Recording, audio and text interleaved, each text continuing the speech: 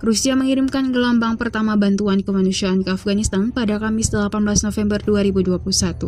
Bantuan yang diberikan termasuk 36 ton makanan, obat-obatan, dan barang-barang penting. Jelas Duta Besar Rusia untuk Kabul, Dmitry Zernov, seperti dikutip dari kantor berita TASS. Penerbangan khusus yang dilakukan oleh Kementerian Pertahanan Rusia akan mengirimkan ke Afghanistan sejumlah besar kargo kemanusiaan yang disiapkan oleh Kementerian Darurat Rusia. Batch pertama sebanyak 36 ton akan dikirimkan pada 18 November. Kemudian akan ada dua pengiriman lagi secara keseluruhan lebih dari 100 ton bantuan kemanusiaan akan dipasok, lanjut Azirnov.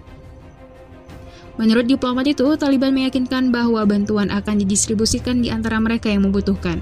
Ini penting, pihak berwenang Afghanistan memahami bahwa kesalahan apa pun akan sangat memperumit pekerjaan mereka selanjutnya dengan menyandang dana asing, ujar Zirnov.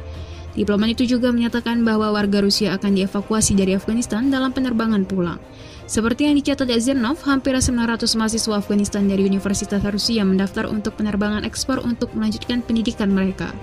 Dari 25 hingga 26 Agustus, Kementerian Pertahanan Rusia melakukan penerbangan repatriasi dari Afghanistan untuk warga negara Rusia, Belarus, Kyrgyzstan, Tajikistan, dan Uzbekistan yang mencari bantuan untuk kembali ke negara mereka. Kementerian Luar Negeri Rusia menekankan bahwa itu bukan evakuasi, tetapi bantuan untuk kembali ke tanah air mereka bagi mereka yang menghadapi kondisi menantang di tengah perubahan dramatis dalam situasi militer politik Afghanistan. Taliban memulai operasi besar-besaran untuk menguasai Afghanistan setelah Amerika Serikat mengumumkan niatnya untuk menarik pasukannya pada musim semi. Pada 15 Agustus, para pejuang Taliban menyerbu Kabul tanpa menghadapi perlawanan apa pun. Dengan Presiden Afghanistan saat itu Ashraf Ghani kemudian melarikan diri dari negara itu. Pada 6 September, Taliban memperoleh kendali penuh atas Afghanistan dan pada 7 September, pejuang Islam itu mengumumkan pemerintahan sementara yang baru yang belum diakui oleh negara mana pun.